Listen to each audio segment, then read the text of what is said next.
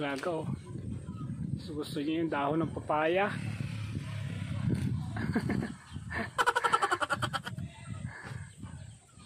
Bakit gustong gusto mo yung dahon ng papaya?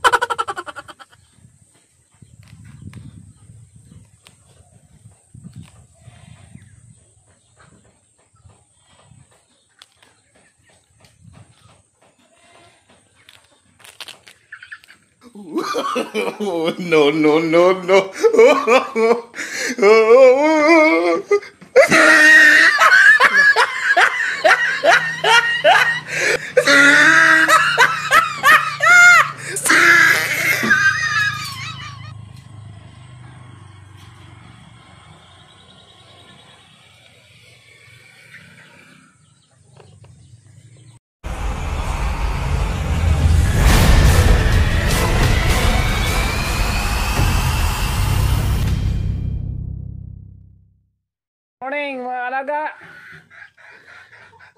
Ay sa umaga nito mga alaga.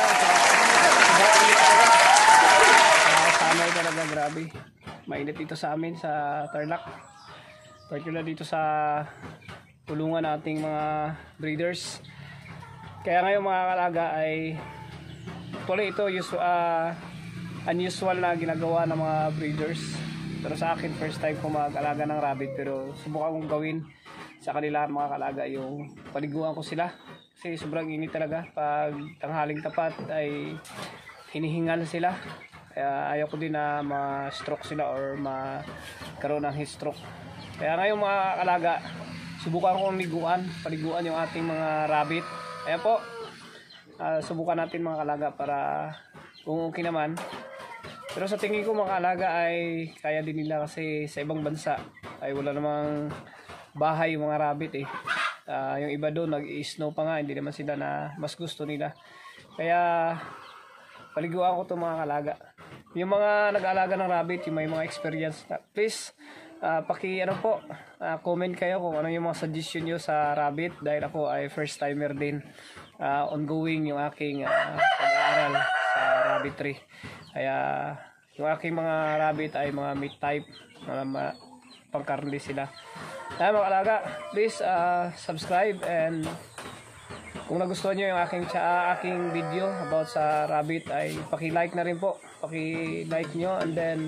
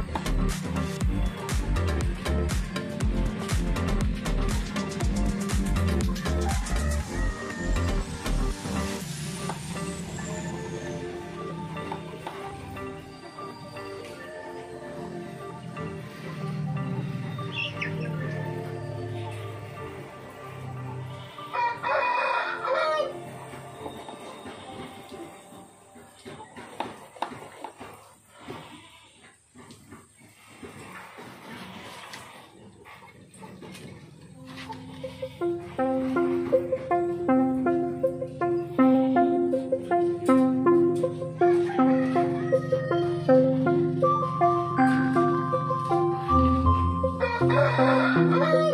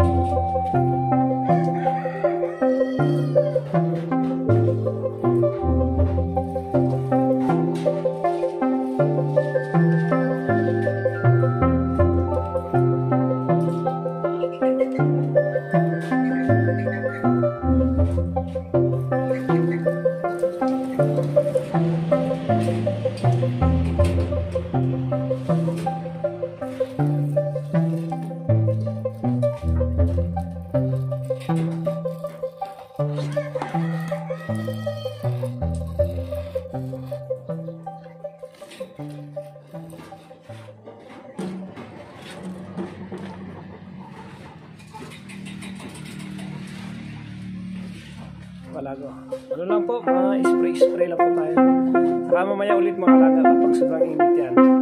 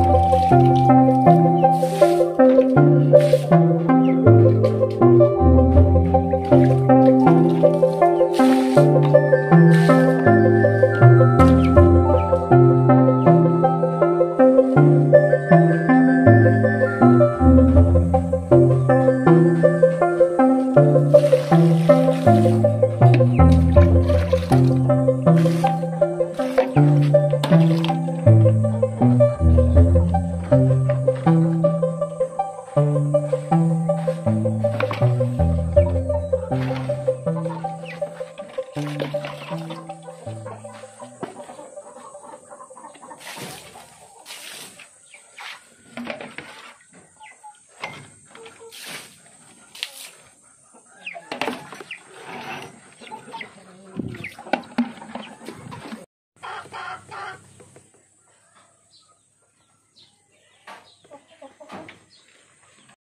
kalaga, ah, tips lang po sa panahon ngayon, lalo na sa mga baguhan, sa meron na kayong mga stocks dyan, mga breeders, Ah, either that is ah, chicken or ano man yung hayop na inalagaan nyo ngayon, lalo sa panahon ngayon sobrang init.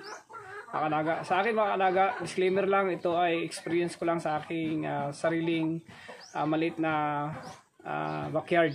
Ayan po, ang ginagawa ko mga alaga para ma-prevent ko yung sobrang ah, magkaroon ng heat stroke ang ating mga alagang manok at saka ibang hayop. Ah, una, ang ginagawa ko mga alaga ay pinapaliguan ko yung aking mga breeders. Ah, po, ah, regular sila at least 3 times a week ko sila pinapaliguan.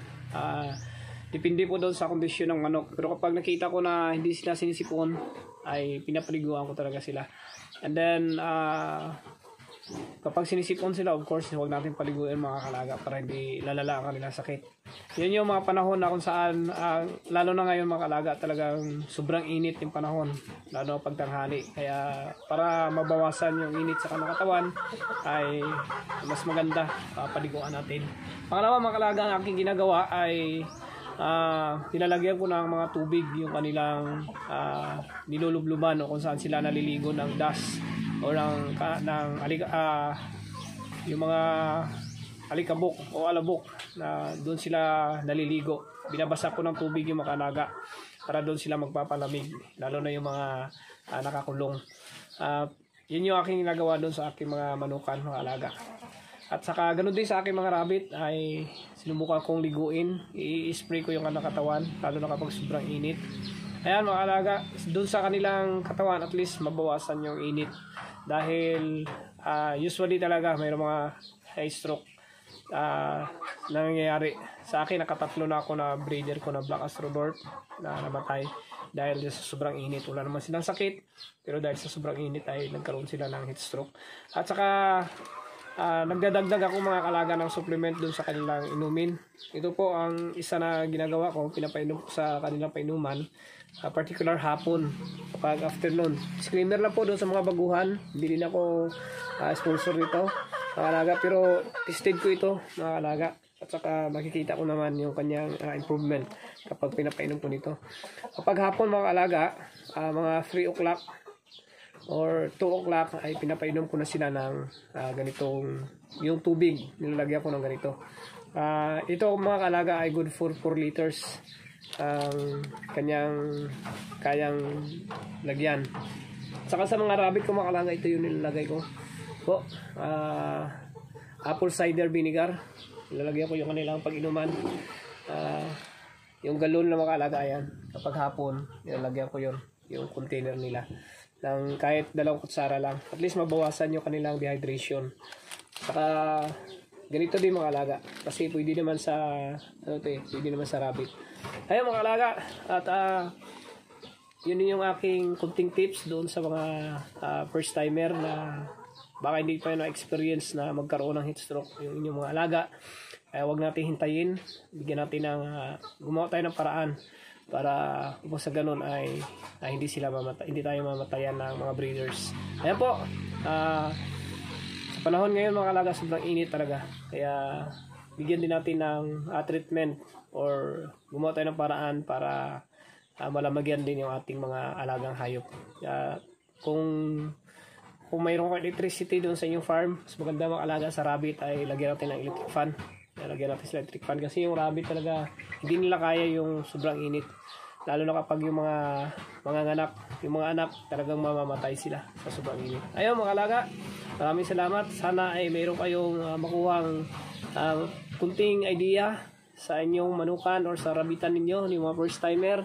At doon sa mga expert din at saka talagang ah, may experience na about sa paghahayop at ah, nakita ninyo ang aking video, please ah, comment kayo, ah, mag-suggest kayo upang sa ganon ang lahat ng mga ah, kung sino yung nanonood sa ating channel ay meron din silang ah, makuhang mga ideas, lalo na ako. Ayan po mga kalaga, maraming maraming salamat at ah, nawa ay meron kayong makuha, makuhang kunting tips sa Ah, lalo na sa panahon ngayon. Kahit ang tao ay dapat ah, kailangan pala bigyan natin ng ah, lamig yung ating katawan. Ayan po. Alaga, maraming salamat. God bless at mabuhay po tayong lahat.